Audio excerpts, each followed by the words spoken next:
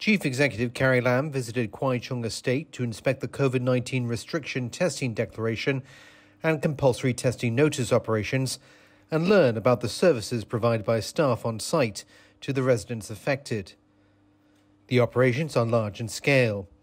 So far, the government has mobilised more than 1,800 staff members from over 10 government departments.